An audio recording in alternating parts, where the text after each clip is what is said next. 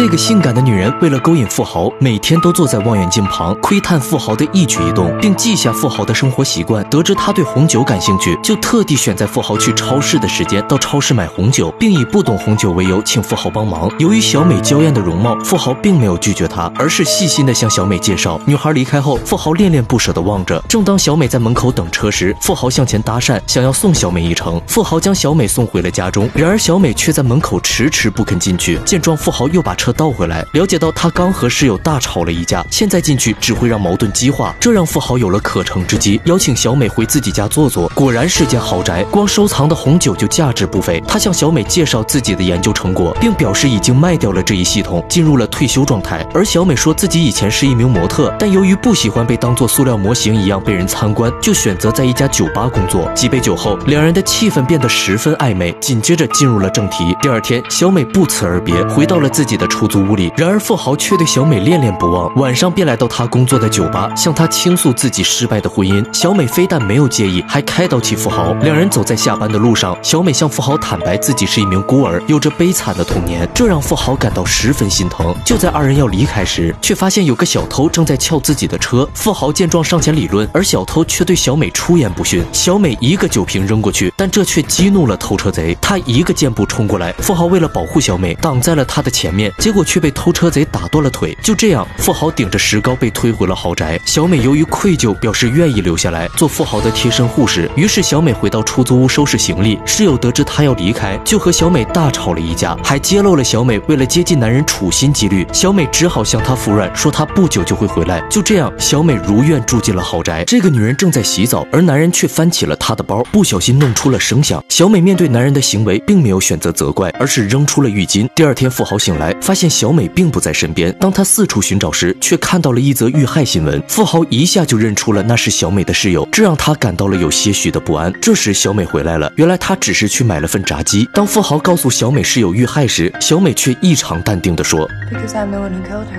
这让富豪感到毛骨悚然。小美也不再隐藏，坦言这两个月以来，她一直在监视着富豪。正当富豪想要报警时，却发现自己的手机不见了。原来手机早在他睡觉时就被偷偷的拿走了，一切都来不及了。小美拿出手机锁住了所有门窗。就当富豪打算抢回手机时，小美拿出电棍直接将他电晕。富豪醒来时已经被绑在了轮椅上。小美拿起电钻，一套严刑逼供，问出了银行密码。但这还不够，她还将富豪的家中洗劫一空，各种名画全。不高价卖出，富豪还发现来搬画的司机正是打断他腿的偷车贼，他们是一伙的，而自己早已是困兽之斗，而这正被不远处的房东看得一清二楚。房东趁着小美外出时，偷偷来到房子外，搬起石头砸开窗户，爬进屋内，准备敲诈富豪一笔。I want a hundred grand.